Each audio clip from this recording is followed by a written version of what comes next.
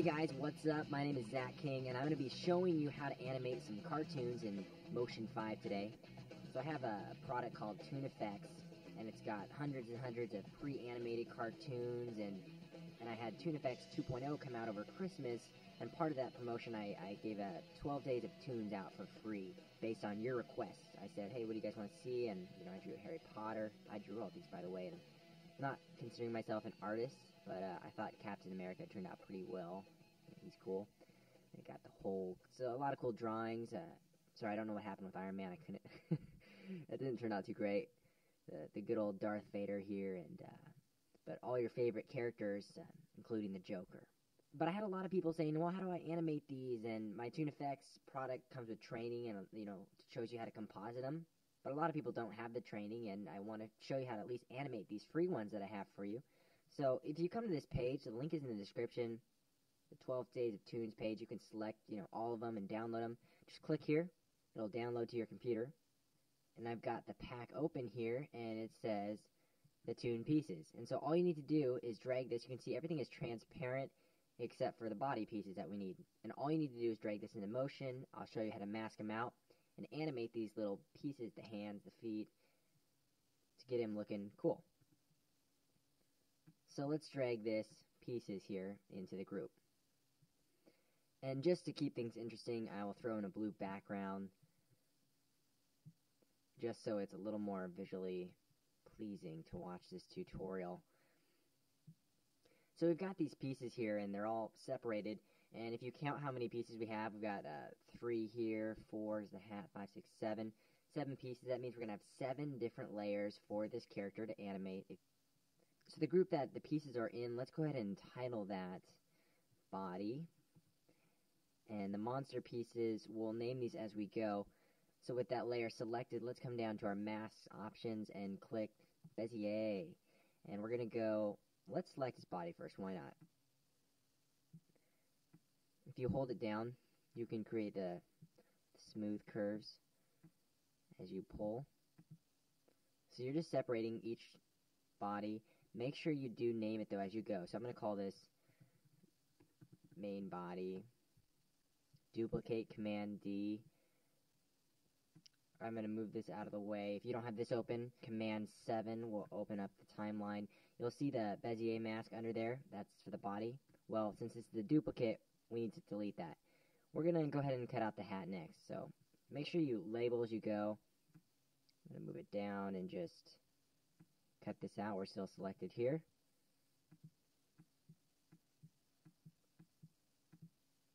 And so keep going through. Command D, duplicate. Let's go with a left arm. That'll be looking at him. So on this side, we'll delete the previous mask and we'll continue just to cut him out. I'll see you in a couple minutes. I'll fast forward this just so you don't have to watch me do this to every single layer. So I've got all the elements cut out now. That was the, the quick version. And now I want to get ready to animate him. And the next thing we need to do is put his body together and make it rigged in a way that makes sense for an animator. So we'll start with his main body, and that's usually where I start a build of a character. Let's center him up. And you see this little dot here that we can twist. This is called the anchor point, and I like to keep that right there centered on him. The way you change that, I'll show you in the next part. We'll move his left hand. That's right here, and we'll put it right, right here is fine. But notice how the anchor point, if I'm going to tilt this and animate it, that's not going to work. We want it to rotate right from where his arm would rotate. To correctly position the anchor point, you can come down here to your layer selected and click anchor point. That allows you to move it where the correct location is. So if I do that right there, and we go back to the regular transform, it is correctly anchored like I could wave the character's arm. Neat. Let's go ahead and put the right arm in the right spot. Again, you just need to pop down to the anchor point, pull it over, you go. Right foot, we'll pop it up here. Anchor point is already selected. There we go. We'll go with left foot, drag this up, anchor point. The cool thing is that it'll stay on the anchor point editing as long as you continue to not change it back to the arrow mode. clipboard, we'll throw it in his, let's go left hand. And we'll center the clipboard up here. Something like that's fine. Same with the hat. We'll put it on him, but center this. Uh, right here is fine if we need to ever animate that. So now that we're done with that, let's go back to transform. And here is our character. Cool thing is the body in the main group. You want to make sure you center it up. Look, same thing with the anchor point within a group. If we're going to animate that, we're going to want to correctly have that anchor point in the right spot. And actually, kind of towards where a belly button. This character doesn't have one, I don't think, from Monsters Inc., but where it would be tends to be the main body anchor point. So now we've rigged our character where we put him together in the right pieces, and now in terms of animating, this comes down to just keyframing. So if you want to take his right arm and you want to swing it, let's have it go. You'll see right there the leg, you know, that would never happen. The hand would go in front of the leg, so find out which leg that is. That's the right foot.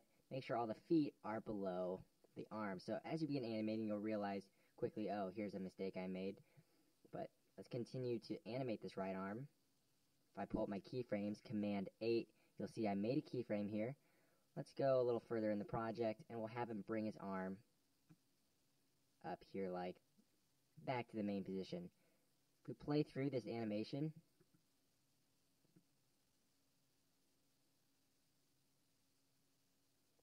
a little slow, so let's select that again.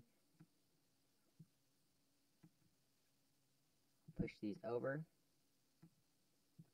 And I also want to make this not an abrupt, but we'll change the interpolation by making it Bezier. So now play it. In my Effects training, I go a lot deeper into the animating and also how to put them correctly into the scenes, like composite them. I'll tell you a few of the filters that you can look at. Go into filters, color correction. You're always going to want to throw on a levels and throw this onto the main body so everything gets affected. And also throw in sometimes a hue and saturation is really helpful. So I'd throw that one on. And if we were keying him into a real life background, like I do with my Toon Effect drawings, we'd go to the inspector and, you know, for the levels we would lower him down a little bit and saturation's a little bit high. But I hope that gives you just a quick understanding of how you can use those free Toon Effects. Animating is a very tedious skill. I started out with claymation myself. If that won't teach you patience, I don't know what will. And if you make something cool, post it to my Facebook page. It's Facebook slash The Final Cut King. Check out my website. Again, the Toon Effects training is there. I have a lot of other motion training. I'll see you in the next video tutorial. Take care.